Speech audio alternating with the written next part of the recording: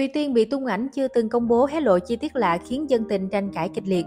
Mới đây trên trang cá nhân của một stylist thân thiết với Hoa hậu Thùy Tiên đã đăng tải loạt hình ảnh khi còn đương nhiệm Hoa hậu Hòa bình quốc tế 2022. Dù mới qua 3 tháng kết thúc nhiệm kỳ, nhưng nhiều người vẫn dành lời khen cho nhan sắc xinh đẹp cùng thần thái sang trọng của Hoa hậu Thùy Tiên thời kỳ đăng quang. Đây là bức ảnh mà nàng hậu sinh năm 1998 chưa từng hé lộ với người hâm mộ. Trong bức ảnh được chia sẻ, Thùy Tiên diện váy tinh xảo lấp lánh, đội vương miệng khoe thần thái quyền lực như nữ hoàng. Không những thế, nhờ sở hữu thân hình thon gọn, Thùy Tiên không ngại cân các trang phục cắt xẻ táo bạo.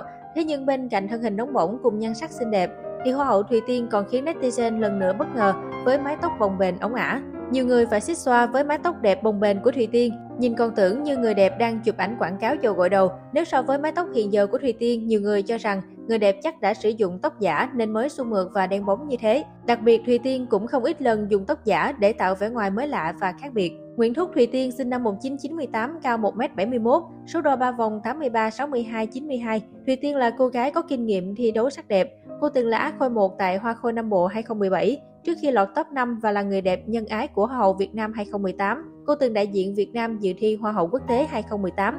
Ngày 18 tháng 9 năm 2021, Nguyễn Thúc Thùy Tiên chính thức nhận sách Miss Grand Việt Nam từ Á hậu Ngọc Thảo và trở thành đại diện của Việt Nam tại cuộc thi Miss Grand International 2021 tổ chức tại Thái Lan. Đại diện Việt Nam không phụ lòng mong đợi đã xuất sắc đăng quang Hoa hậu Hòa bình Thế giới 2021. Sau khi giành được ngôi vị cao nhất, tên tuổi của Thùy Tiên bắt đầu được nhiều người biết đến. Cô nàng chính thức kết thúc nhiệm kỳ Miss Grand International 2021, Hoa hậu Hòa bình quốc tế vào ngày 25 tháng 10. Suốt một năm đương nhiệm, cô đã có nhiều đóng góp thiết thực, trở thành năng hậu được công chúng yêu mến. Sau khi về nước, Hoa hậu Thùy Tiên cũng đang tích cực hoạt động với các kế hoạch của mình. Tuy đã hết nhiệm kỳ của một Hoa hậu Hòa bình thế giới và không còn lịch làm việc ở nước ngoài, nhưng động thái của nữ diễn viên vẫn nhận được sự quan tâm của cộng đồng mạng. Kết thúc nhiệm kỳ tại Miss Grand International, song Thùy Tiên vẫn được đánh giá là người đẹp nhân ái thành công nhất lịch sử bởi hành trình đáng nhớ. Thậm chí nàng hậu Việt Nam còn nhận được lời khen của nhiều tổ chức trong nước và quốc tế cho những dự án thiện nguyện đến trẻ em và xã hội. Mới đây, Thùy Tiên đã nhận được bằng khen của Hội Liên hiệp Phụ nữ Thành phố Hồ Chí Minh tích cực tham gia chương trình Vòng tay yêu thương giai đoạn 2021-2022. Đây không phải là lần đầu tiên Thùy Tiên nhận được giấy chứng nhận cho hành trình thiện nguyện. Trước đó, nàng hậu còn khiến người hâm mộ sắc đẹp bất ngờ khi đăng ký hiến mô hiến tạng từ năm 2020. Bên cạnh những dự án thiện nguyện trong nước cùng các nàng hậu nhà sen vàng, Thùy Tiên còn khiến truyền thông quốc tế chú ý khi có hành trình đẹp tại Angola. Theo đó, sau 7 tháng đăng quang, nàng hậu đã có mặt tại châu Phi và cùng YouTuber Quang Linh mang nước sạch đến cho người dân. Vừa đăng quang xong, tôi đã bắt đầu nghĩ là mình mong muốn được có một dự án quốc tế.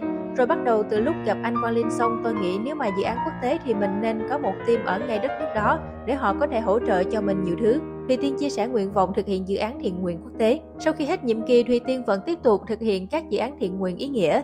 Theo đó, ngay sau khi nhường lại ngôi vị Miss Grand International cho người đẹp Brazil, nàng hậu đã đến máy ấm dành cho trẻ mồ côi tại Jakarta, Indonesia mang đến nhu yếu phẩm và những khoản tiền ủng hộ cho các em nhỏ. Với những dự án thiện nguyện ý nghĩa cả trước và sau nhiệm kỳ, Thùy Tiên đã trở thành người đẹp nhân ái trong lòng khán giả.